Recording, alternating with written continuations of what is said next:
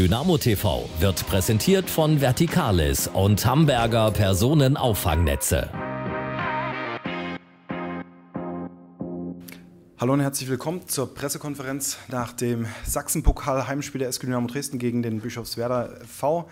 Die Partie endete mit 2 zu 0. Ich begrüße wie immer ganz herzlich die beiden Cheftrainer. Hier von neben mir Erik Schmidt vom Bischofswerder FV und unseren Cheftrainer Alexander Schmidt. Das erste Wort gehört dem Gast. Erik, wie fällt dein Fazit nach der 0 zu 2 Niederlage hier bei Dynamo Dresden im Sachsenpokal aus? Ja, erstmal Glückwunsch an Dynamo Dresden zum Weiterkommen. Okay. Ja, wir haben uns natürlich so ein bisschen, wir sind enttäuscht, wir hatten uns schon so ein bisschen so ein kleines Wunder vielleicht vorgestellt. Aber im Endeffekt ist das natürlich ein verdienter Sieg für, für Dynamo Dresden. Wir haben es in der ersten Halbzeit schon ein paar Chancen gesehen für Dynamo, die, die Mika Schneider toll gehalten hat. Und dann Zweite Halbzeit ist eine Frage Zeit gewesen. Trotzdem haben die Jungs gegen den Ball alles, alles gegeben, versucht zu verteidigen, haben gekämpft. Aber wir haben in beiden Halbzeiten nie allzu viele Chancen rausgespielt, Freistöße, Eckbälle gehabt. Und dann ist es einfach eine Frage Zeit, wenn du es nicht entlasten kannst, ähm, wenn du das Tor bekommst. Und das ist passiert. Leider konnten wir es nicht mehr entlasten. Wir hatten kaum Möglichkeiten, dann Konter zu fahren, waren die Pässe zu ungenau in der zweiten Halbzeit. Und irgendwann ist die Folge, Folge richtig nach dem Eckball ein Tor gefallen. Und dann der Konter 2-0. Also es ist verdient, es ist schade für uns, weil wir haben es gegen den Ball gut gemacht, erst die zweite Halbzeit.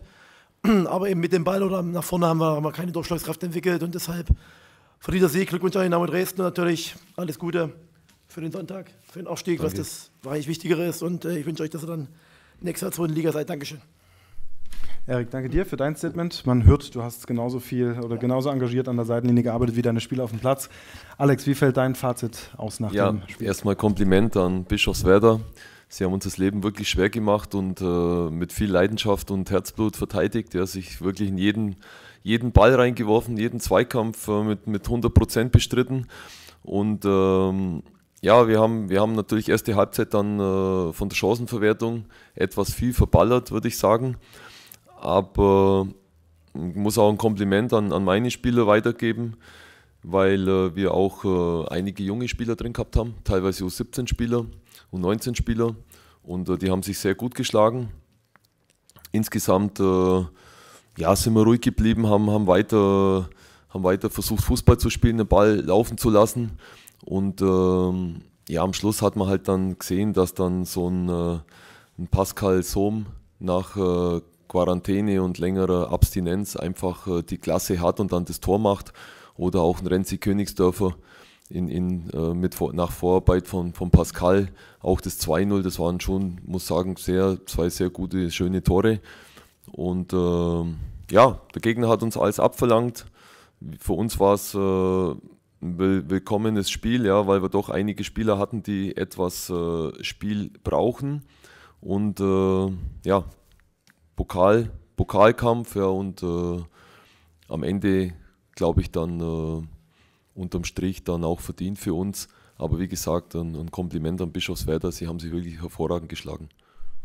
Alex, danke auch dir für dein Statement zum Spiel. Jetzt kommen wir zu den Fragen der Kolleginnen und Kollegen, die oben auf der Pressetribüne ausharren. Äh, wir fangen an mit Sven Geisler von der Sächsischen Zeitung. Äh, die Frage geht an dich, Alex. Wie läuft jetzt die Vorbereitung auf das Spiel gegen Türkgücü München und wie bewerten Sie die Verlegung von Samstag auf Sonntag des Spiels? Mhm. Ja, Vorbereitung läuft und äh, wir haben jetzt zwei intensive Trainingstage schon hinter uns werden natürlich äh, gut dosieren im Hinblick auf den Sonntag. Die Verlegung ist für uns jetzt kein Problem und müssen natürlich den Trainingsplan etwas anpassen, dass wir halt am Sonntag top frisch sind für das Spiel. Ja, und alles weitere habe ich ja schon gesagt, ja, voller Fokus auf, auf das Ding, aber natürlich nicht verkrampfen, ja, eine gewisse Lockerheit brauchen wir.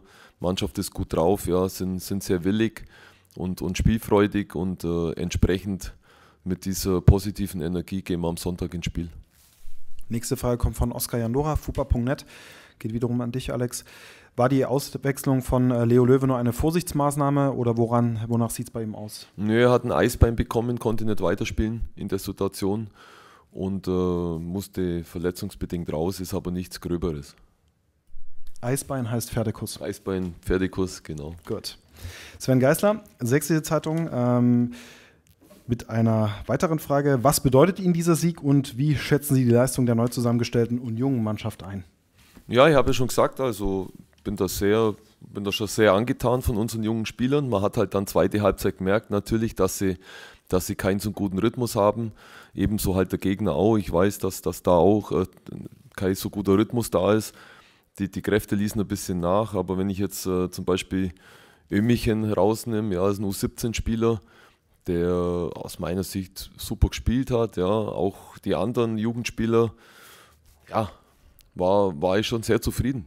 Und äh, dass die Jungs willig sind und, und äh, alles geben, das, das war uns klar. Aber man sieht, sind talentiert und auf das kann man aufbauen.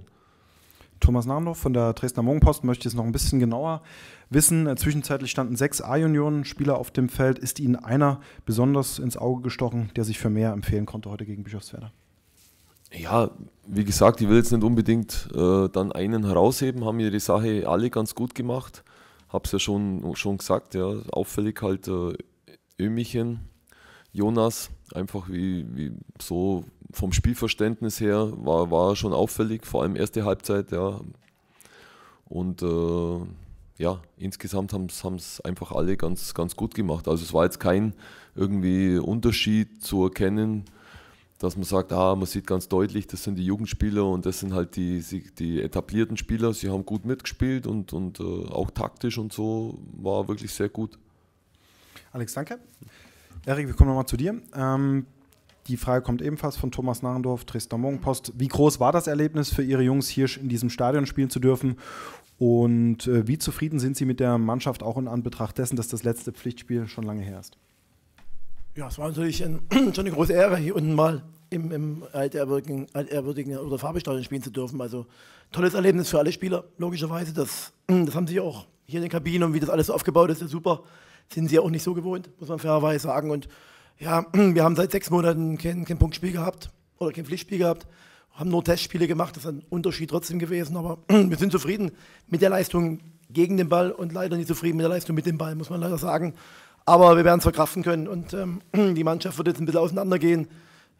Oberliga ist ja nächstes Jahr angesagt, vielleicht bleiben ein paar und einige werden auch gehen. Und das war das letzte Erlebnis für die Truppe und ich denke, es war ein, war ein schönes Erlebnis. Danke, Erik. Zurück zu dir, Alex. Ja. Äh, Tim Schlegel, Bild, Dresden, Glückwunsch zum Halbfinaleinzug. Das Spiel gegen Lok Leipzig wird erst nach dem letzten Drittligaspiel stattfinden. Die Profis werden da wohl schon im wohlverdienten Urlaub sein, oder? Also meine Info ist, dass das Spiel nächste Woche ist. Aber ich bin mir nicht ganz sicher, ob das ist das so. Bin also ich überfragt. Ich, ich habe ich hab gehört, nächste Woche ist das Spiel. Okay. Das werden wir überprüfen und äh, dann mhm. gegebenenfalls mhm. kommunizieren in Absprache mit dem Sächsischen Fußballverband. Nächste Frage, ebenfalls von Tim Schlegel, Bild Dresden. Pascal Sohm hat 90 Minuten durchgespielt, ist nach seiner Corona-Infektion scheinbar wieder voll belastbar. Ist er damit auch eine Option für Sonntag gegen Türkgücü? Ja, Pascal habe ich, ich habe mit ihm ausgemacht, äh, wenn irgendwas ist, soll er mir auch Zeichen geben. Ja, eigentlich wollten wir ihn 60 Minuten spielen lassen, aber aufgrund dann der Verletzungen waren wir gezwungen, dass wir so, so steuern. Ja, eigentlich sollte Kade auch noch spielen, aber den konnte man dann aufgrund äh, der, ich sag mal, nur drei Wechsel konnte man nicht bringen.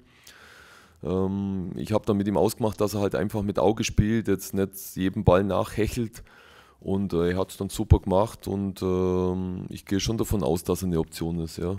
Wir regenerieren, bis Sonntag haben wir noch ein bisschen Zeit. Und äh, je nachdem, wie es ihm geht, müssen wir dann sehen. Aber er hat jetzt einen guten Eindruck gemacht. Alex, Dankeschön. Erik, vielen Dank auch dir. Viel Erfolg für die Zukunft, für den weiteren Weg. Ähm, bis bald und viele Grüße auf die Pressetribüne. Danke für eure Fragen. Tschüss, bis Sonntag. Okay.